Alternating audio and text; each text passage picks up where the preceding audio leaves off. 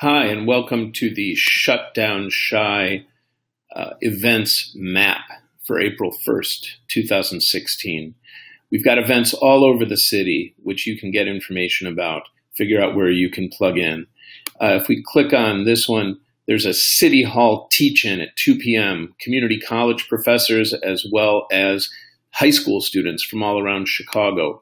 You can click on the list here the big rallies at 4 p.m. at the Thompson Center. It's going to be giant. Get down there, be part of history.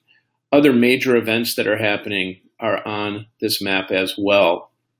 Uh, there's a large uh, teach-in and event down at uh, NEIU, Northeastern uh, Illinois University, which is threatened with massive cuts. Uh, teachers, professors are being put out in furlough. Um, just like students around the state, students have lost their MAP grants, which is making funding their education very difficult. And um, some institutions that have lots of research grants can make up some of that money to students, but real teaching institutions uh, like NEIU and Chicago State cannot make up those funds for students.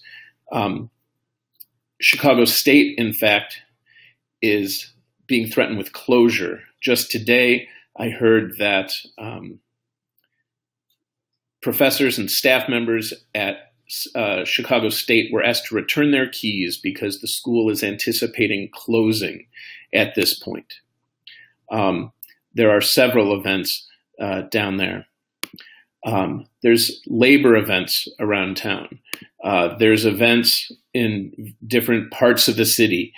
Um, about all of these different things. Uh, there's a protest at the Nabisco factory, which is shipping 600 jobs overseas. There are a couple of protests at prisons and jails and youth detention centers um, to highlight the school to prison pipeline and the need to end that. Um, here's a school that CPS closed, Montefiore, a school for students with special needs. It was one of the schools recently closed. Um, uh, KOCO, down in the Kenwood Oakland neighborhood uh, is having an event at Mount Carmel uh, Missionary Baptist Church. Um, several members of KOCO and uh, the pastor from Mount Carmel all went on a 34 day hunger strike to try to save Dyett High School uh, in the Bronzeville neighborhood um, in the fight for Dyett. This is an ongoing struggle. Uh, there's plenty of places to plug in.